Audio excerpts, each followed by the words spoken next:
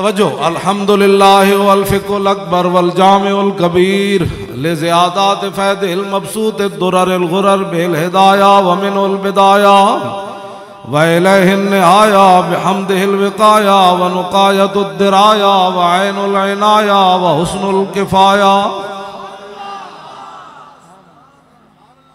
والصلاة والسلام على الإمام الأعظم للرسل الكرام مالكي وشافي أحمد الكرام. يقول الحسن بلا توقف محمد الحسن أبو يوسف. اے عرب خطبہ سن کے نچن لگ پاندے کہتے ہیں کمال ہے یار۔ فَإِنَّهُ الْأَصْلُ الْمُحِيطِ لِكُلِّ فَضْلٍ بَسِيطٍ وَوَجِيزٍ وَوَسِيطٍ۔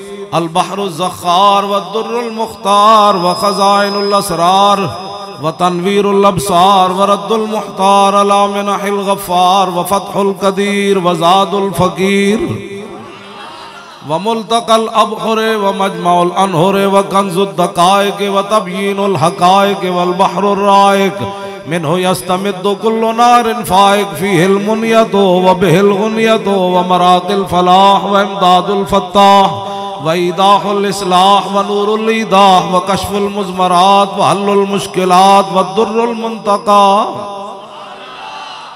وينابيع المبتغى وتنوير البصائر وزواهر الجواهر البدائع النوادر. المنزه وجوبا عن الأشباع والنظائر مغني السائلين ونصاب المساكين. الحاوي القدسي لكل كمال قدسي وإنسي الكافي الوافي الشافي. المصفى المصطفى المستصفى المجتبى المنتقى الصافي عدة النوازل وانفع الوسائل، لإسعاف السائل بعيون المسائل، عمدة الأواخر وخلاصة الأوائل، وعلى آله وصحبه وأهله.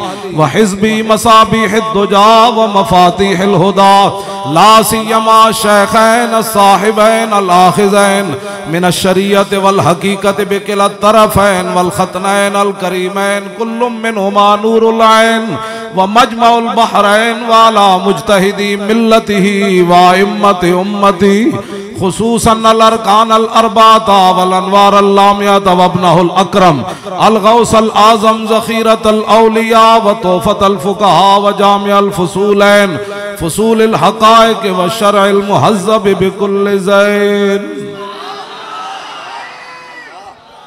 اما بعد، فاعوذ باللہ من الشیطان الرجیم، بسم اللہ الرحمن الرحیم۔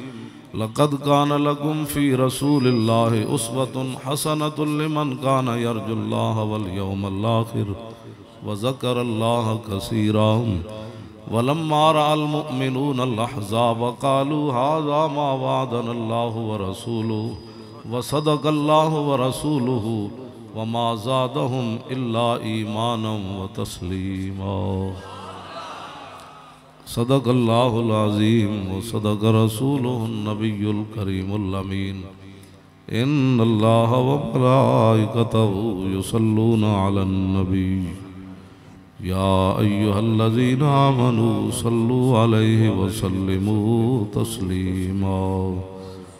صلاة و سلام علیکہ یا سیدی یا رسول اللہ. وعلى آلك وأصحابك يا حبيب الله.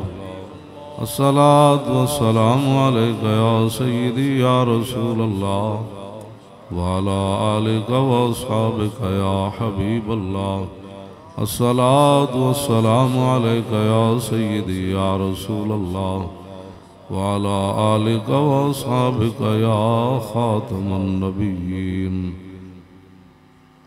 بندہ پروردگارم، امت احمد نبی، دوست دار چار یارم، تابع اولاد علی، مذہب حنفی ادارم، ملت حضرت خلیل، خاک پائے غوث اعظم، زیر سایہ ہر ولی۔ صدیق اکس حسن کمال محمد است فاروق ذل جاہو جلال محمد است عثمان زیائے شمع جمال محمد است حیدر بہار باغ خصال محمد است صلی اللہ تعالی علیہ وسلم